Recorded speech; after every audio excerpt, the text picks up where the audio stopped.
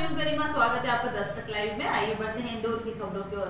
करीब दो साल के कोरोना के कैद खत्म होते हुए और अब इंदौर के देवी विश्वविद्यालय का दीक्षांत समारोह तेईस मार्च को होगा।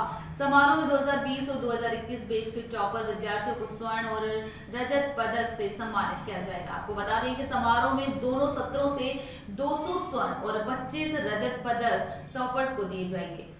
बीते दिनों डीएवीवी कुलपति प्रोफेसर रेणु जैन की महामहिम राज्यपाल मंगूभाई पटेल से दीक्षांत समारोह को लेकर मुलाकात हुई और 23 मार्च को दीक्षांत समारोह आयोजित करने का निर्णय हुआ। अब डीएवीवी इस समारोह की अंतिम तैयारी में जुट गए हैं। शैक्षणिक विभाग ने टॉपर की सूची तैयार कर ली है। सत्र 2020 और 2021 के टॉपर्स को इस समारोह में पदक से सम्मानित किया जाएगा।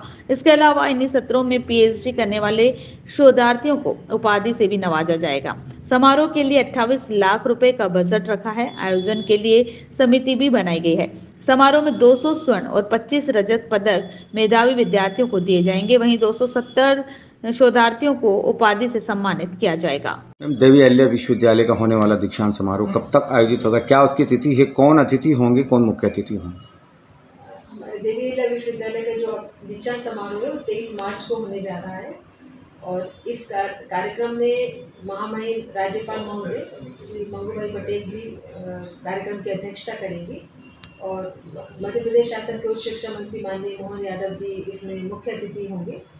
और जो दीक्षांत भाषण है, दीक्षांत उद्बोधन है, वो माननीय Shri Sachchidanand Joshi Indira Gandhi centre for cultural cultural arts के द्वारा दिया जाएगा। मैम, मेडल्स की क्या स्थिति है? कितने छात्र हैं जिन जिनको मेडल्स मिलने वाला है?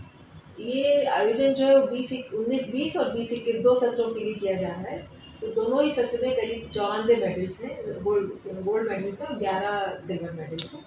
और इसमें जो लड़कियाँ इस बार ज़्यादा आगे आई हैं और लड़कियों को ज़्यादा मेडल दिए जा रहे हैं।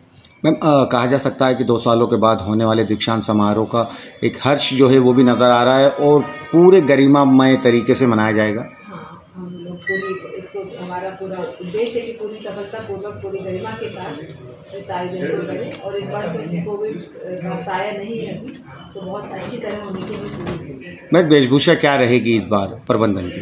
वेशभूषा तो तय हो चुकी है शासन द्वारा जो तय है उसी तरह से जैकेट और काफा लिया जाता है।